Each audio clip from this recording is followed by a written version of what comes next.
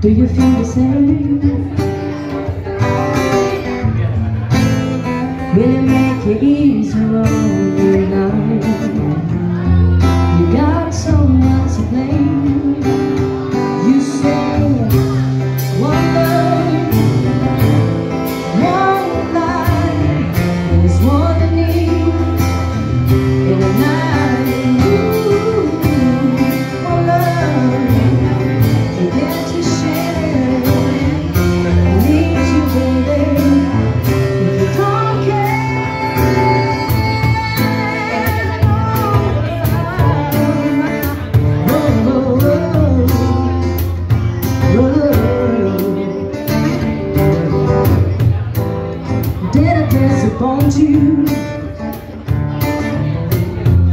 with me.